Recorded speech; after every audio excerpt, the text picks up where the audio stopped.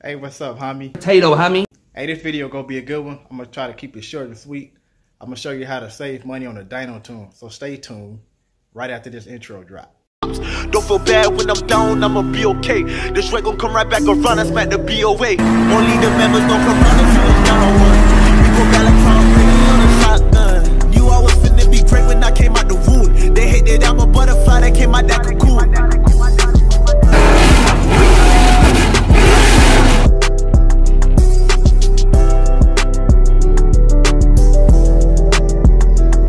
This one is for all you car guys, you tuners that's trying to go fast. So this video, I'm gonna show you how to save a little bit of change, man. Back in the day, we used to put parts on cars and just send it. We didn't take them out to get dyno tune. I don't, I didn't know nothing about a dyno tune, but now we talking like 20 years later, a dyno tune is ideal, man. If you want to get the, the most out of your engine or the setup and all the parts you put on your car, you have to go get a dyno tune. So now I take my car to get dyno tune, but over time, I noticed the things that a tuner will uh, touch and the things that he won't touch or she, you know, whoever's tuning your car, depending on the horsepower you're trying to reach. So I'm gonna try to save you some money by not buying parts that's unnecessary. You know what I'm saying? So um, everything has a threshold everything gets rated. Whatever horsepower number you're trying to reach, there's certain parts you don't have to buy in order to reach that uh, horsepower level. So if you a person that like to eat, remember your knees has a rating. It has a threshold. If you eat too much, you blow your knees out. or if you're a crackhead and you like to smoke crack, pay attention to how much crack you smoking, or that might be the last hit you take. Stay tuned. All right, so when you go for a dyno tune in your mind, you already know dyno tunes ain't cheap, okay? So if you tell a non-car guy how much you pay for a dyno tune, he'll probably be like, That nigga crazy. So you want to get the most out of your engine that you can for the amount of money that you're spending for a dyno tune. So you like, I'm gonna go buy some parts. I'm gonna go get me a fuel rail. I'm gonna get some cam gears. I'm gonna get a, a, a, adjustable fuel pressure regulator. I'm gonna put some big injectors in it, all that kind of stuff. You're spending money. So I'm gonna show you what'll help and won't what won't help depending on the horsepower that you're trying to get. So once again, my specimen is gonna be my Integris. I'm always doing videos with the Integris. Cuz that's the one I damn near put all the damn money on, man. put too much money in this damn car. Shut up, bitch! Right, it's a bit of a mess over here. I got these Lionharts, man. When I have these on, I feel like I'm the king of the highway. Bullshit. Alright, so I got the hood and everything open, and we gonna start on the cam gears, okay? So, besides the cam gears, this engine has parts on it. Parts that you can change and put aftermarket stuff, and then you have stock stuff.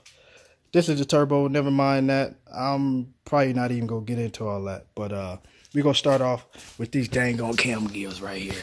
And cam gears, you can get eBay cam gears. You can get uh, brand cam gears. These are VMS. They pretty decent. And as you can see, cam gears. See them numbers right there? That R is for retarded. Cause I get called that a lot. and that right there stands for advanced. That A right there, that's advanced.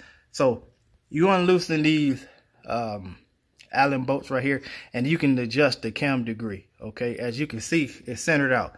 That'll be uh, zeroed, zeroed out. That one, then same thing with that one, is zeroed out. So cam gears is mainly for aftermarket cams that have a higher cam profile than stock. So the first time I went to get a dyno tune, I bought cam gears. It's like, yeah, I'm about to go up in this joint. He could adjust my cam gears on my stock cams. I think I had a stock B16. Yeah, it was a B16. Not this car. I had a, uh, matter of fact, it, it, it was this car. And uh, it was an 18. It was my stock GSR engine. And I bought cam gears, threw them on there. It's like, yeah, that should give me an extra, you know what I'm saying, X amount of horsepower. Because he go get all up in here, work his magic, and give me some extra ponies. Well, guess what? On stock cams, you do not need cam gears. You can leave the stock OEM gears on here. Reason being, stock cams perform its best at zero degrees, zeroed out. And zeroed out is the same um, degree that the stock gear is on. So if you run a stock cams and you ain't trying to make your engine bay look pretty, you do not need these. Because he is not going to touch them. He or she, whoever your uh, tuner is, they are not going to touch these. So I just saved you 150 $250. You can go in there with your stock cam gears and still get the amount of horsepower that you're trying to get with stock cams, okay? Leave that alone if you're running stock cams. You do not need it. Another thing we tend to change is a fuel pressure regulator. What's that? This AEM right here. That's the AEM fuel pressure regulator. That right there is the adjuster nut and, and screw to raise or lower the fuel pressure. This engine put out 500 horsepower. And guess what my fuel pressure is at? 43 psi. And guess what the stock fuel pressure when you have an OEM fuel pressure regulator? 43 psi. Come on now, dog. So your stock fuel pressure regulator can get you up to 500 horsepower. So did I really need this? No. Come on, man. Long as my stock fuel pressure regulator was working um, properly, I could have made 500 horsepower on a stock fuel pressure regulator. And this AEM one right here, if I'm not mistaken, I don't even remember. But they bought a buck fifty, two hundred dollars. So that's another buck fifty, two hundred dollars. I could have uh uh Spit that shit out, man. kept in my pocket. So if you tally that up, that's about five hundred dollars, depending on what brand you want to go with. If you want to spend the, the the buck fifty or the two fifty for the cam gears, or a buck fifty or or or two hundred for a fuel pressure regulator, we just go round it off about five hundred dollars right there. I just saved you. Most guys when they build in Hondas, they got a stock B16 or a LS VTEC, whether it's a B18 or B20, and they just trying to. The ideal number for those is usually 200 horsepower. Hey, if I can get that 200, I'm gonna be straight. Yeah, boy. And what's the next step? Fuel rails. That's another thing people like to go for. And again, if you just trying to buy aftermarket parts to to make your engine bay look pretty, then by all means go for it. I ain't mad at you. You know what I'm saying? You pop your hood and it's like gleaming like treasure, then it's all good, man. I, man, I like to look pretty too a little bit. But the fuel rail. So this is a Golden Eagle Pro Series fuel rail. You see how thick it is? What's my stock one? Uh, this is my stock one. I'm gonna leave that up there. Okay, this is the stock fuel rail right there, and you can see compared to see how thick that is and how thin that is. So this is a Golden Eagle, and I'm the type. Usually these things, I'm guessing again. I'm not, I don't even remember, man. I I don't buy too much brand new, but I'm gonna just say this Golden Eagle. What? this Golden Eagle Pro Series fuel rail is probably gonna cost you at least two hundred dollars, if not more. I look for stuff used before I buy them new, and luckily I bought this from uh, Kuda. Kuda built. Um, you can look him up on uh, Instagram. He had it on offer up for a hundred bucks. Reason I went that route because I'm turbo and I was trying to get as much as horsepower as I can. If you're not turbo, and again, you got a stock LS VTEC or a stock B16 GSR, whatever the case may be, do you really need a aftermarket $200 fuel rail? Let me think. No. This fuel rail right here is the stock GSR fuel rail. It's probably the same for a LS or uh, LS VTEC. It'll work for any of them. I made 390 horsepower, almost 400 horsepower with a stock fuel rail. It was no surprise. So save your money. If you got a stock engine and you just trying to get that 200 horsepower, this fuel rail will get you there with no problem. Like I said, it made 390, but we backed it down to 376. So still, if you round it off, that's 400 horsepower on a stock fuel rail. So I just saved you another $200. We up to like $700 right now if we round it off. Cam gears, fuel rail, fuel pressure regulator. Man, those things you really don't have to touch unless you're going for big, big numbers. You know what I'm saying? So another thing guys like to change injectors. Oh yeah, I'm gonna put these big, big, bigger injectors. I'm gonna put some 500s in there. Maybe get some MDX injectors, like 420s or something. Throw them up in there. Try to get the most horsepower I can get out of my stock engine. No, no! Do you really need to upgrade your stock injectors to make 200 horsepower? Definitely not. Now, I remember back in the day, we used to go to pick apart and, and hold people up at gunpoint. What the? to get some uh, Integra injectors because we was running Civics but single cams, right? So we thinking like, hey, look, you know, we get bigger injectors and inject more fuel into the engine, we can go faster. Not even knowing because we didn't do no research, you know what I'm saying? When it came to Google and all that internet stuff back then, it didn't exist. We thinking, I, you know, uh, Integra, a twin cam engine, they take more fuel than a single cam engine, so we go get the injectors out of a, a twin cam engine not knowing single cam injectors are 240 cc and a twin cam engine is 240 cc. So we did all that for nothing. That's stupid! The injectors that we were going to get out of Pick-A-Part was the exact same ones that we already had.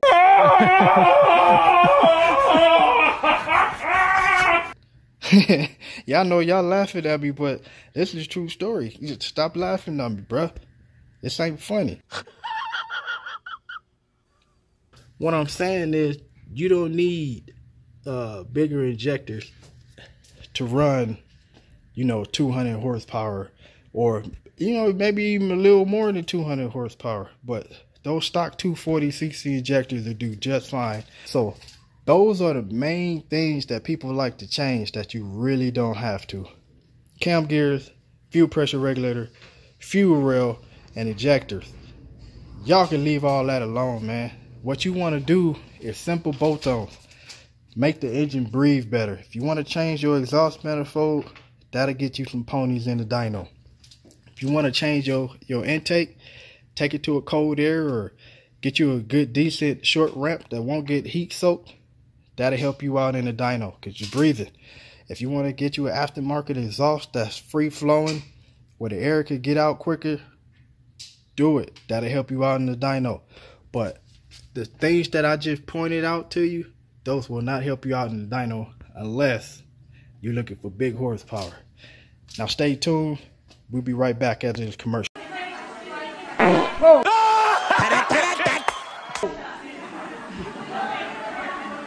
Almost forgot one. Throttle body. Now a throttle body can help you out.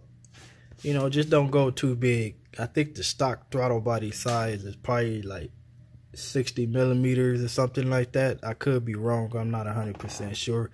But if you want to put a uh, a little bigger uh, throttle body on there, that can help out because once again, you're breathing better.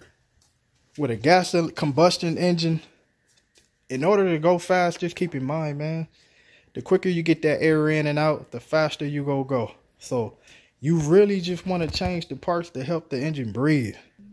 The fuel pump, and the fuel pressure regulator and the injectors, they they they're good enough already to compensate. Because the more air you put in, you got to add fuel.